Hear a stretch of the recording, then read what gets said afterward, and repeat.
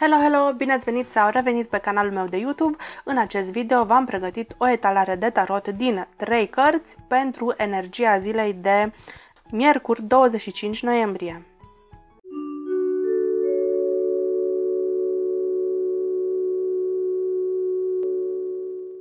Aceasta este o etalare generală, prin urmare e foarte important să iei din ea doar acele mesaje care se aplică pentru tine și să ignori ceea ce nu este pentru tine. Probabil e pentru altcineva. Ține minte că eu nu prezic viitorul, viitorul este în mâinile tale, eu doar interpretez potențialul energetic al zilei, astfel încât să vezi riscurile și oportunitățile din fiecare zi în parte. Eu îți dau o hartă eu îți dau o hartă astfel încât tu să poți să iei decizii informate, indiferent dacă urmărești pentru tine, pentru partener, parteneră, pentru familie, prieteni, copii, noi nu judecăm pe nimeni, nu dorim răul nimănui și nu folosim aceste informații în scopuri malefice. Noi ne susținem, creștem împreună și evoluăm mental, spiritual, emoțional și fizic. Bun. Hai să scoatem o carte pentru dragoste, pentru sănătate și pentru afaceri și situație financiară.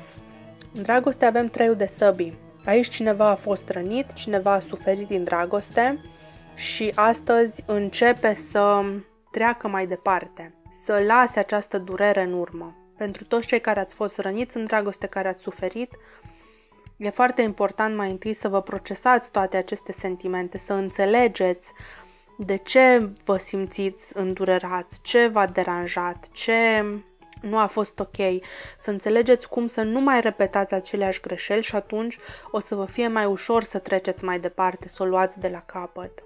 Încercați să vă concentrați asupra lucrurilor pozitive pentru cei care sunteți într-o relație serioasă și nu ați fost înșelați, da? pentru că nu toată lumea o să fie aici înșelat sau înșelată.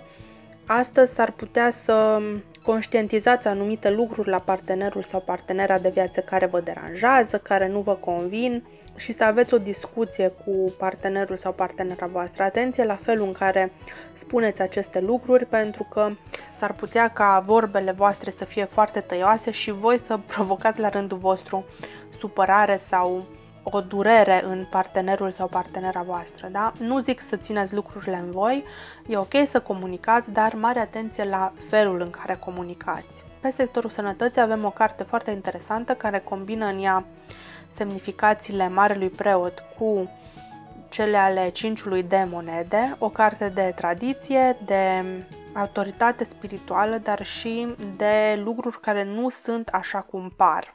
Mare atenție astăzi să nu vă dați singur diagnostic, da, nici uh, după ureche. Am auzit eu că asta s-ar putea să fie sau am citit eu pe Google și mi se pare mie că suferă de boala asta pentru că s-ar putea să vă dați diagnosticul greșit, nu s-ar putea, 99,99%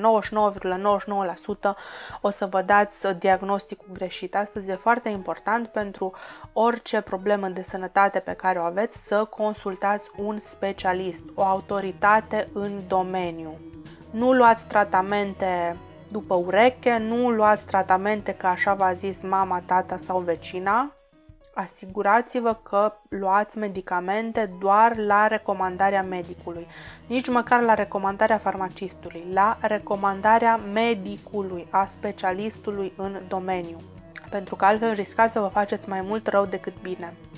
Și pe poziția de bani, carieră, situație financiară, avem o carte foarte interesantă care combină energia arcanei majore turnul cu arcana minoră șasele de bâte.